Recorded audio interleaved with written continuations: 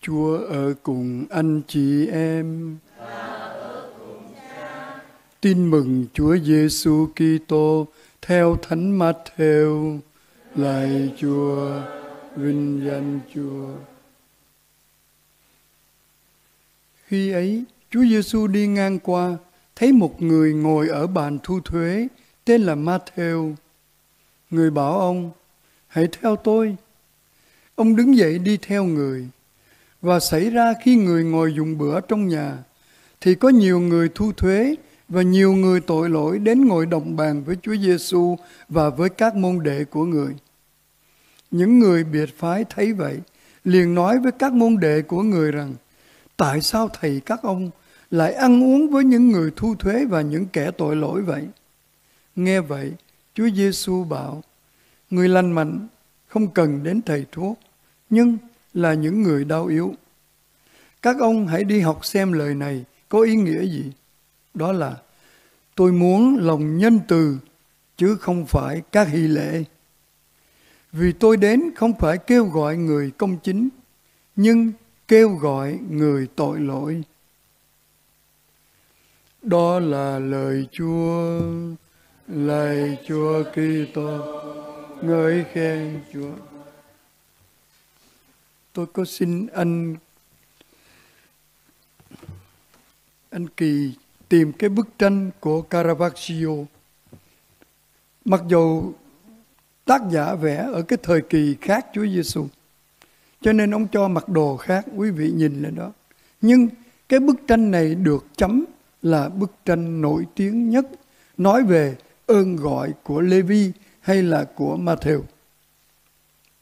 Người ta chú trọng nhất ở cái bàn tay chỉ vào ngực và một bàn tay khác ở bên góc bên phải là bàn tay của Chúa Giêsu đứng nép sau một tông đồ để đưa ngón tay chỉ ma theo Và như vậy thì trong hai bàn tay đó nó có cuộc đối thoại.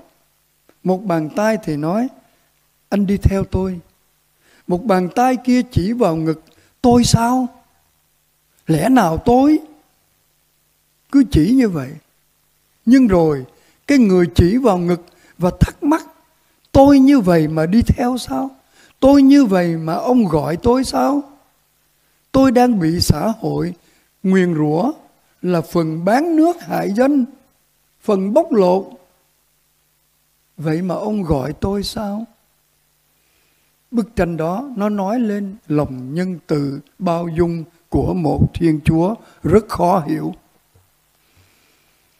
Chúng ta nhìn lại trong cuộc đời dương thế công khai ba năm của Chúa Giêsu. Mỗi lần Chúa nhìn thấy đám đông thì Chúa không nhìn đám đông, Chúa chỉ thấy nhu cầu của họ là một. Hai là Chúa thấy từng cá nhân. Ví dụ khi nhìn đám đông dân chúng đi theo mình, Chúa thấy cả đám đông có cái nhu cầu mệt mỏi, đói khát, lạc loài, không có ai dẫn dắt. Và Thánh Matthew viết rõ Chúa đã chặn lòng thương. Rồi với tình yêu xót thương này, Chúa đã chữa lành các bệnh nhân. Bất kỳ ai được mang đến cho người, cũng Matthew kể. Và với một ít bánh và cá, Ngài đã cho đám đông ăn no thỏa, cũng Matthew tường thuật. Điều đã tác động Chúa Giêsu trong tất cả các trường hợp đó là gì? Chạnh lòng thương có nghĩa là lòng xót thương. Một lòng xót thương không điều kiện. Mà cái lòng xót thương này hiểu được tâm tư, nguyện vọng, nhu cầu của những người, từng người Chúa gặp gỡ. Khi gặp bà quá ở thành Na Im, Chúa đâu gặp, Chúa chỉ thấy xa xa đám tang đang đưa đứa con trai duy nhất đi chôn. Chúa chạnh lòng thương cho con trai bà sống lại. Bà trao người con lại từ cõi chết cho bà mẹ. Luca kể rất rõ. Rồi sau khi trừ quỷ cho một người ở miền Gerasa, người trao cho anh ta sứ mạng, anh hãy trở về với thân nhân, nói cho họ biết việc Thiên Chúa đã làm cho anh và đã thương xót anh như thế nào. Chúa mặc khải ra thêm câu đó của Marco viết. Cho nên việc kêu gọi ông Matthew hôm nay xảy ra trong khung cảnh của lòng thương xót. Khi Chúa Giêsu đi ngang qua cái bàn thu thuế, mình thấy trên cái bàn còn tiền. Cái người ngồi chia tiền với ông có đeo gươm giáo. Tức là sẵn sàng đổ máu vì tiền. Ánh mắt của Chúa bắt gặp ông Matthew. Chúa nhìn vào ông và Chúa kêu đi theo tôi. Rất ngắn gọn, phúc âm chỉ nói có vậy. Không có kêu tên nữa, đi theo tôi. Caravaggio là một họa sư là thêm vô cái thắc mắc tôi sao nhiều người ngồi đây ngài gọi tôi sao cho nên ánh mắt của Chúa Giêsu đã bắt được ánh mắt của Matthew từ đó ông đi theo đi theo và trung thành cho đến ơn tử đạo hay thật, tôi nghĩ có cái gì nó giống giống với trường hợp của ông Thánh Tô-ma. Tôi tin rằng Thiên Chúa không giỏi về tính toán. Thiên Chúa cũng không giỏi về kế hoạch. Thiên Chúa cũng không giỏi về tuyển mộ nhân viên. Mình có khi lanh hơn á. Coi, kế hoạch gì mà dựng nên hai ông bà thì hai ông bà phản tuyển người gì mà tuyển 12 người thì một người phản, một người chối. Vân vân. Rồi cuối cùng có một người không tin rằng Chúa đã sống lại. Nhưng rõ ràng số lượng đối với Chúa là cái nhu cầu chung chung. Nhưng trong số đông đó Chúa thấy từng cá nhân. Và không cần, đừng có nói vì 99 người lành rồi một người kia nhầm nhò gì bỏ qua đi không chúa đi tìm cái người một phần trăm đó và trong cái câu chuyện chúa nói để các con chiên lại đi tìm con chiên lạc. Chúa đi tìm ông thomas. Và trong đám đông hôm nay xô bồ giữa tiền bạc chúa đi tìm ông Matthew. Tại sao mình không nghĩ chúa vẫn đi tìm mình mỗi ngày? Chúa lúc nào cũng bận tâm đi tìm một ông nào đó, một bà nào đó, một chàng thanh niên nào đó, một cô thiếu nữ nào đó, một người mẹ nào đó, một ông nội bà ngoại nào đó. Đâu đó trên cõi đời này vẫn còn những người cần Chúa đi tìm. Là mình, đừng hiểu ai hết. Có bao giờ mình nghe tiếng gọi, mình thắc mắc, Chúa gọi tôi sao? Đó là một ơn phước rồi. Còn hơn mình không muốn nghe. Bởi vì mình thắc mắc, Chúa gọi tôi sao? Là mình nhận ra mình bất xứng. Rồi với ơn Chúa giúp mình đi theo.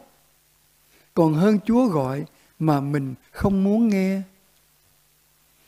Đâu đó trên cõi đời này vẫn còn một phần trăm người cần Chúa nhìn đến. Không ai bằng Thánh Phaolô, ông ý thức được điều này. Đó, Chúa đi tìm ông Phaolô trong muôn ngàn người đang bắt bớ đạo của Chúa Giêsu. Và Ngài đã nói, Phaolô đã viết, cuối cùng thì Chúa cũng đã hiện ra cho tôi như một đứa con sinh sao đẻ muộn. Thơ thứ nhất gửi Corinto. Vậy Chúa đã sống lại. Chúa còn quyền năng để đi tìm từng người hơn nữa. Và Chúa hứa Thầy ở cùng anh em mọi ngày cho đến tận thế. Chúa làm gì trong thời gian đó? Tôi tin rằng Chúa vẫn lân la, tế nhị đi tìm, nhưng không sổ sàng can thiệp. Chúa tôn trọng tự do. Bao giờ còn những linh hồn cần Chúa đi tìm, chưa bao giờ Chúa thấy thảnh thơi để nghỉ ngơi. Chúa cứ phải chịu phiền, chịu muộn, bận tâm cho đến ngày cuối cùng của thế giới này. Và Chúa sẵn sàng những cái cú rất ngoạn mục như trên đường đi Damas của Phaolô, như cuộc quật ngã của Augustino, như một cuộc biến đổi đời của Francisco nghèo khó Assisi, như một triết gia Pascal, như một luật sư nổi tiếng Alfonso Ligori để rồi ông biến thành một giám mục sáng lập dòng Chúa của thế. Một ông cha Cloden sống ở xóm chùa Đa Cao, Tân Định. Một thánh, Á Thánh Charles de Foucault, một trung úy viễn chinh, ăn chơi khét tiếng, được một cú ngoạn mục của Chúa, quay trở về chết tử đạo ở sa mạc, ở châu Phi. Còn chúng ta thì sao? Có bao giờ trước khi ngủ ban đêm ngồi nghĩ ngày hôm nay Chúa có gọi con không? Chẳng lẽ suốt 24 tiếng cho là 12 tiếng lúc con thức Chúa chẳng gọi gì sao? Chúa có gọi. Chúa có kêu. Nhưng mình nhiều khi còn chưa đủ can đảm để chỉ vào Ủa, trong biến cố này Chúa gọi con đó hả? Chưa được như vậy. Có khi mình phớt lờ không nghe. Nhưng Chúa không cần số đông. Chúa cần đi tìm từng ông từng bà Cảm ơn Chúa cho chúng con qua lễ Thánh Matthew, qua bức tranh của Caravaggio mà chúng con ý thức vì đây cũng là một trong những bức tranh mà Đức Giáo Hoàng Francisco rất thích. Vì Ngài nói, qua bức tranh đó tôi thấy Chúa gọi tôi, đầy lòng thương xót. Cảm ơn Chúa, cảm ơn giáo hội. Lâu lâu nhắc cho chúng con một điều là Chúa đi tìm từng cá nhân và Chúa mong cái cá nhân đó gặp Chúa. Bởi vì chỉ có gặp Chúa mới biến đổi cuộc đời mình. Nếu không, mình cứ tà tà như vậy, cứ bình chân như vậy, cứ lấp lửng con cá vàng đó, tức là không ra gì hết á. Cứ vậy vậy vậy vậy cho tới chết. Thì đau khổ thật. Và tại sao? Tại vì Chúa muốn mình gặp mà mình chưa sẵn sàng để gặp.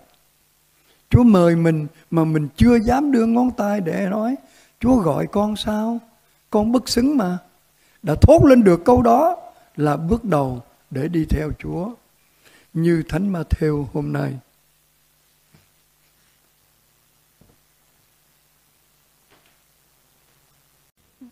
Tôi biết tôi đố câu này thì thừa vì nhiều người biết. Mình vừa mới nghe hát. Chúa thương ai đoạn trường về đoạn trường là gì? Mình nói cái gia đình đó thật là tan thương, thật là đoạn trường. Ai giải thích dùm đi, to to lên. Đau ruột là không đúng đâu, đứt từng khúc ruột. Trường là ruột, cái ruột của mình mà nó tức từng đoạn đứt ruột. Thật ra đau khổ không làm cho ruột đứt nữa nhưng mà rõ ràng, đó là hình ảnh nghĩa bóng, đau lắm, buồn lắm. Đó như vậy. Thì ở đây có hai đứa, con trai bé bé học tiểu học, vào trường. Ngày thứ hai, thằng này thấy thằng kia ngồi buồn ở gốc cây. Mày buồn gì dữ vậy? Giống như đoạn trường vậy tao buồn lắm. Hỏi tại sao con thú cưng của tao nó mới chết? Thôi thôi thì đi mua con khác, Không phải. Bây giờ tao buồn kinh khủng lắm. Rồi thằng kia không dám hỏi. Tới ngày thứ ba, cũng tới trường, Cũng ngồi buồn và buồn hơn nữa. Bây giờ tao mới thấy hậu quả. Vậy là mày thương cái con nó con gì vậy? Con mèo. Trời đất, Con mèo đi mua con mèo khác đi. Nó rẻ hơn con chó.